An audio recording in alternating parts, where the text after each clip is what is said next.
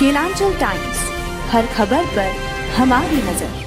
नमस्कार, मैं रानी मिश्रा, आप देख रहे हैं केलांचल टाइम्स। झारखंड में पंचायत चुनाव काफ़ी तेज़ी से आगे बढ़ रहा है और ऐसे में हमारी टीम भी जगह जगह जा रही है। हमारे सहयोगी ओंकार झा आज पहुँचे हुए थे गादी झोपा पंचायत जहाँ से मुखिया पद की उम्मीदवार बिटिया हांसदा से जिससे हमारे सहयोगी ओंकार झा की बातचीत हुई है। कई मुद्दे की बात करेंगे क्योंकि महिला उम्मीदवार है तो ऐसे में क्या कुछ स्पेशली महिलाओं के लिए सोच रही हैं, ये जानना बेहद ज़रूरी था, उन्होंने क्या कुछ कहा, क्या कुछ बताया, आप भी देखिए इस रिपोर्ट में। नमस्कार, आप देख रहे हैं किलांचल टाइम्स, में हूँ ओंकार झा। झारखंड में त्रिस्तरीय चुनाव होना है, चुनावी बिगुल बजा हुआ है, चारों तरफ़ चुनाव का शोर सुनाई पड़ रहा है अभी हमारी पूरी टीम सरैया हाट प्रखंड के गादी जोपा पंचायत में है।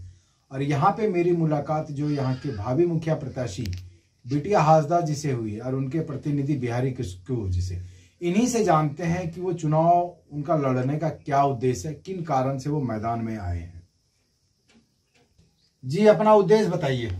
सब सबसे पहले तो सभी को नमस्कार जी नमस्कार। जी। इसके बाद आपका उद्देश्य क्या है? किन कारण से मैदान में आए हैं? हमारे परिवार दस साल से सेवा कर रही है यहाँ पर। जी।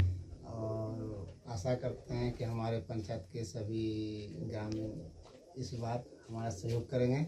जी। और इस बार हम लोग सबसे पहले तो सिंचाई की व्यवस्था करेंगे। जी। शिक्षा की व्यवस्था करेंगे। जी।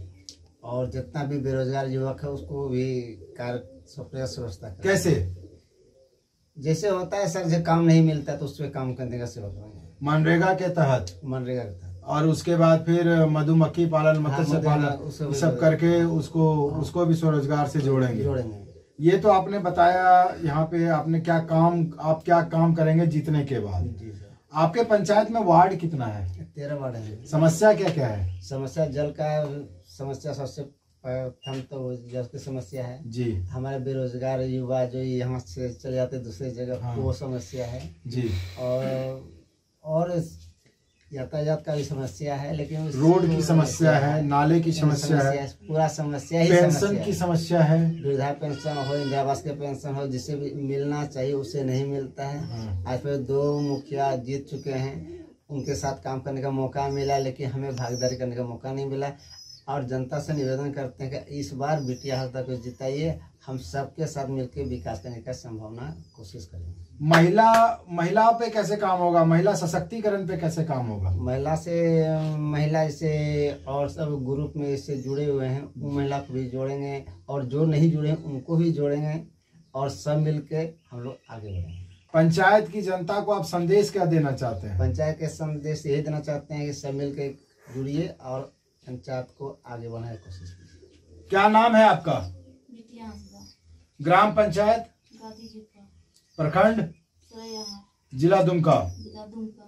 आपका नाम क्या है? ये है किसके नाम बिहारी किस्कू?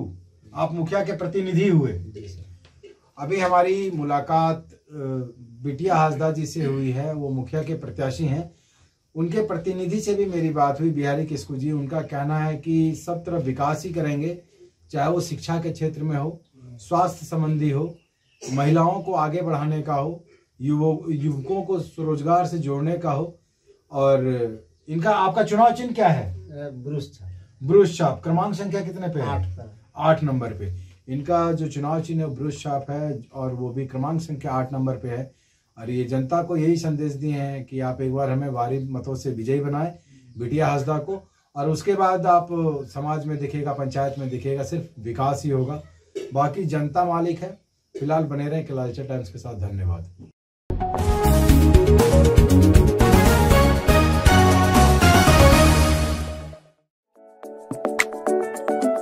अरे, ठीक है भैया, ऐसे वीडियो देखे जा रहे हो तनिका सब्सक्राइब कर लो। और हाँ घंटा का बटन ज़रूर दबाना। तब हमारे वीडियो का नोटिफिकेशन सबसे पहले मिलेगा। यहाँ वहाँ का देखा हम तो ही काट रहे हैं जल्दी दबाओ